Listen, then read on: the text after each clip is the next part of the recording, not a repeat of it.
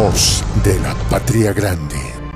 Y ha sido detenido en Rusia. Por el momento, ni el Ministerio de Defensa ruso ni el presidente Putin se han pronunciado sobre la detención de este general que fue relevado de sus funciones ya en el mes de enero. Surovikin tenía una muy buena relación con Prigozhin. Lo que no está claro es si ha sido acusado de conspirar en el levantamiento o solo fue detenido para ser interrogado.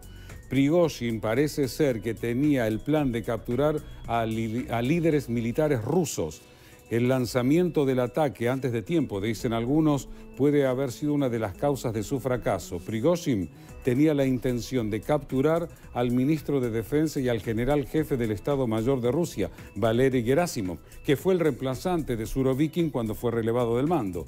Pero parece ser que el Servicio Federal de Seguridad, la antigua KGB, se enteró del plan dos días antes de que comenzara la denominada marcha por la justicia de algunos Wagner y el hecho es que todo fue cortado.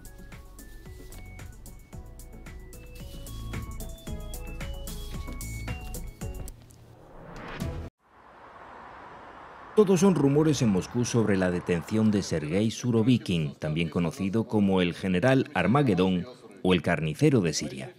Según distintas fuentes, Surovikin, quien lideró durante meses la invasión de Ucrania, habría sido detenido por sus vínculos con Prigozhin.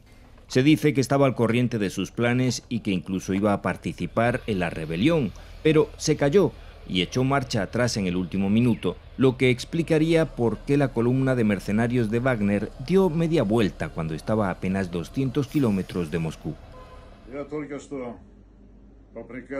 En estas imágenes difundidas por el Ministerio ruso de Defensa el pasado viernes, después de que Prigozhin hubiera tomado el cuartel general del ejército en Rostov del Don, hacía un llamamiento a la calma y que se resolvieran las diferencias pacíficamente. Lo cierto es que no se le ha vuelto a ver en público desde la madrugada del sábado, cuando las tropas de Wagner decidieron retirarse sorpresivamente tras alcanzar un acuerdo que les garantizaba que no serían perseguidas.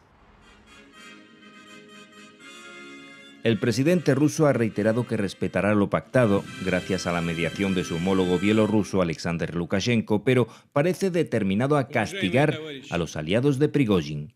Putin está examinando con lupa todo el dinero que se ha movido recientemente desde las cuentas del líder de Wagner para saber quién firmó qué y quién cabildó por órdenes, uniformes o armas.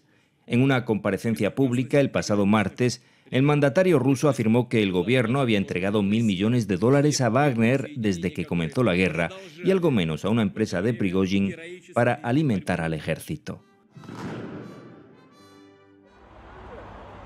En Moscú cunde el nerviosismo entre las élites que se acercaron a Prigozhin en los últimos años, que tal vez deban explicar ahora una relación embarazosa.